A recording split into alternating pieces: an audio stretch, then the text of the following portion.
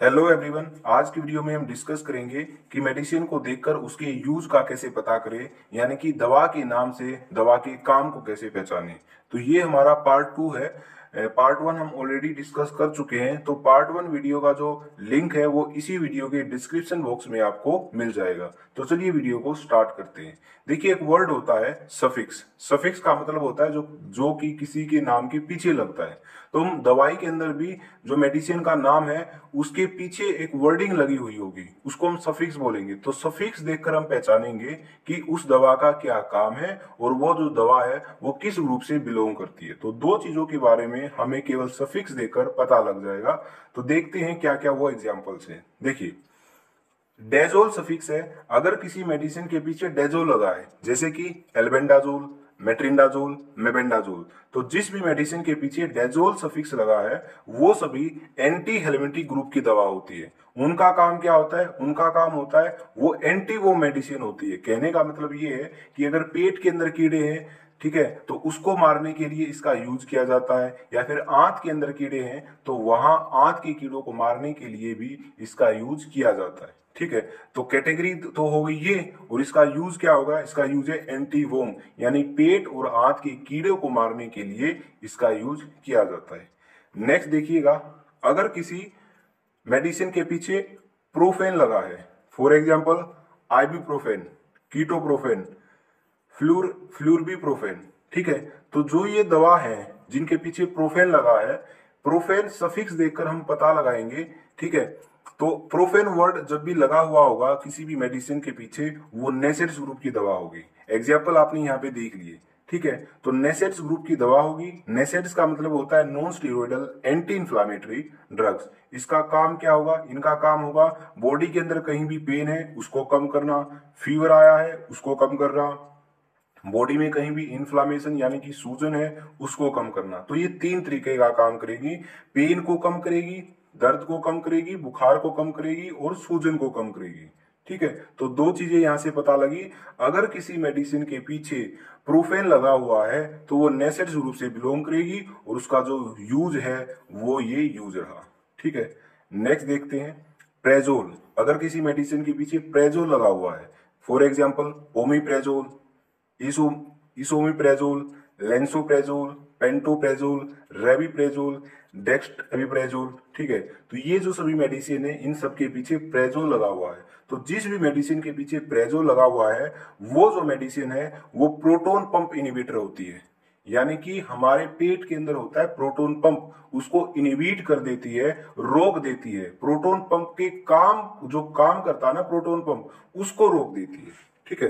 तो जो भी प्रेजोल वर्ड लगा हुआ होता है, जिस भी मेडिसिन के पीछे, वो प्रोटोन पंप इनिबिटर ग्रुप की दवा होती है और इनका काम होता है एसिडिटी को रोकना, ठीक है? अगर किसी को एसिडिटी की प्रॉब्लम है, तब उस कंडीशन में ये दवा दी जाती है। पेप्टिक अल्सर पेट के अंदर छाले होते हैं, उस कंडीशन में ये दवा दी जाती है। ड्यूडेनल अल्सर यानी कि आंत के अंदर छाले होते हैं तो उस कंडीशन में भी ये दवा दी जाती है। ठीक है? अल्सर का मतलब छाले होता है। तो एसिडिटी हो, उसको ठीक करने के लिए, या फिर छाले हो, या चाहे तो वो पेट के अंदर हो, या फिर आंत के अंदर हो, दोनों ही कंडीशंस के अंदर जो ये दवा है, ये यूज़ की जाती है। नेक्स्ट ग्लिप्टिन अगर किसी मेडिसिन के पीछे ग्लिप्टिन लगा है for example sitagliptin vildagliptin saxagliptin alogliptin linagliptin ठीक है आपको यहाँ पिक्चर्स के अंदर भी दिख रहा होगा। हाँ, देखिए हर स्लाइड के अंदर आपको कुछ न कुछ पिक्चर दिख रही हैं ठीक है? तो ये भी आपको ध्यान देना है ठीक है? ब्रूफेन तो यहाँ से आप पता लगा सकते हो जैसे कि आपके पास ये मेडिसिन है तो यहाँ से देखोगे कि इसके पीछे क्या लगा हुआ है। प्रोफेन लगा है यानी कि ये नेसेट्स ग्रुप से बिलोंग करती है। इसका यूज़ आपको ये पता ही हो गया ठीक है? तो इस तरीके से पिक्चर भी देखो मैंने इसी इसीलिए लगाई है। यहाँ पे दिख रहा होगा सीटा ग्लिप्टीन यहाँ वर्ड क्या लगा है? ग्लिप्टीन लगा है। तो ग्लिप्टीन लगा है तो ग्लिप्टीन वर्ड देखते ही आपको समझ जाना है, ये एंटी डायबिटिक मेडिसिन है। यानी कि शुगर के जो पेशेंट है, जिसको डायबिटीज़ हुई होती है, वहाँ पे इसका यूज़ किया जाता है। ठीक है? देखिए पार्ट वन के अंदर भी मैंने आपको रिकमेंड की थी एक चीज़। ठीक है? अभी भी मैं आपको बता रहा हूँ। अगर आप स्टूडेंट हैं, अच्छे तरीके से चीज़ सीखना चाहते हो, याद करना चाहते हो तो पेन लीजिए और कॉपी लीजिए और कॉपी में लिखना स्टार्ट कीजिए, तभी आपको ये चीज़ें याद होगी अदरवाइज़ याद नहीं होंगी। ठीक है? आगे बात करते हैं। अगर किसी मेडिसिन के पीछे टेरोल लगा हुआ है, ठीक है?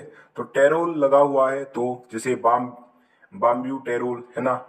Salmeterol formoterol. तो टेरोल वर्ड लगा हुआ है, वो जो मेडिसिन है, वो बिलोंग करती है ब्रोंकियोडाइलेटर से। वो जो मेडिसिन है, वो ब्रोंकियोडाइलेटर्स होती है। ब्रोंकियो प्लस डायलेटर ब्रोंको का मतलब होता है ब्रोंकाई से।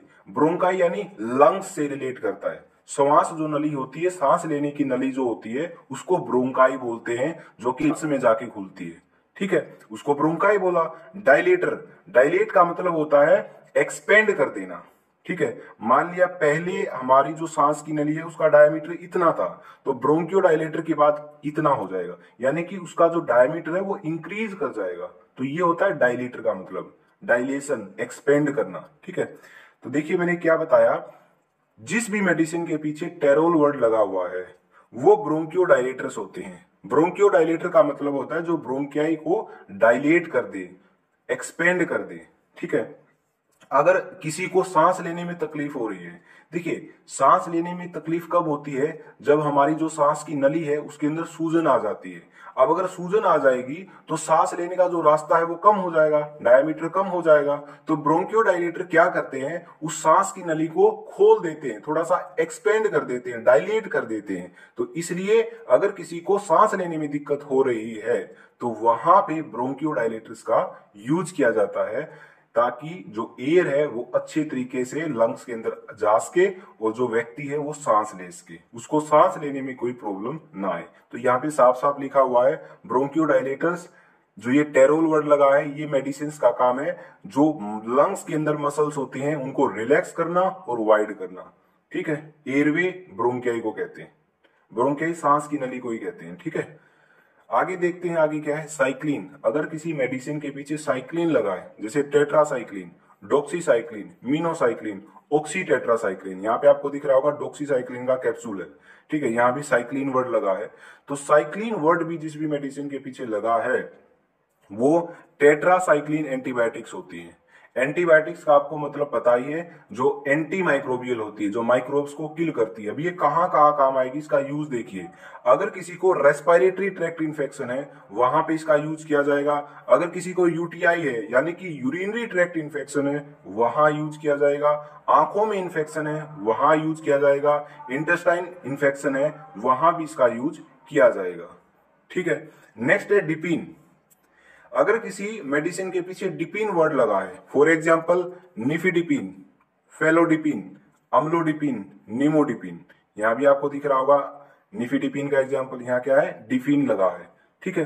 तो डिफिन वर्ड जहाँ भी लगा है जिस भी मेडिसिन के पीछे, वो होते हैं कैल्शियम चैनल ब्लॉकर, यानी कि जो कैल्शियम चैनल होते हैं हमारी बॉडी के अंदर, उनको ब्लॉक करने का ये काम करती है। ठीक है? तो कैल्शियम चैनल ब्रोकर होते हैं, जिस भी मेडिसिन के पीछे डिपिन वर्ड लगा हुआ होता है। तो इन मेडिसिन का काम क्या होगा? इनका काम होगा चेस्ट पेन को ट्रीट करना। एंजाइना बोलते हैं उसको, है ना? एंजाइना की शिकायत अगर किसी को है, यानी कि चेस्ट के अंदर पेन हो रहा है तो उसको ठीक करने के लिए इन मेडिसिन का यूज़ किया जाता है। दूसरा इसका यूज़ है हाइपरटेंशन यानी कि हाई ब्लड प्रेशर की अगर किसी को समस्या है तो हाई ब्लड प्रेशर को भी नॉर्मल करने के लिए इन मेडिसिन का यूज़ किया जाता है। ठीक है? तो जब भी आपको कोई भी आप मेडिसिन पढ़ रहे हो, अगर वहाँ पे आपको मेडिसिन के पीछे डिपिन वर्ड डिपिन लिखा हुआ मिला। तो तुरंत समझ जाना कि डिपिन लिखा हुआ है, इसका मतलब ये कैल्शियम चैनल ब्लोकर है और इसके दो ही काम होंगे। या तो ये चेस्ट पेन में यूज़ होगा, एंजाइना के अंदर, या हाइपरटेंशन के अंदर, यानी कि हाई बीपी के अंदर, जो ब्लड प्रेशर हाई हुआ है, उसको नॉर्मल करने का जो ये दवाइयाँ हैं, ये काम करती हैं। तो ये इसका यूज़ है और ये इसकी क्लास है, जिससे ये बिलोंग करता है। तो ये ये चीज़ें हमने यहाँ से फाइंड आउट कर ली है।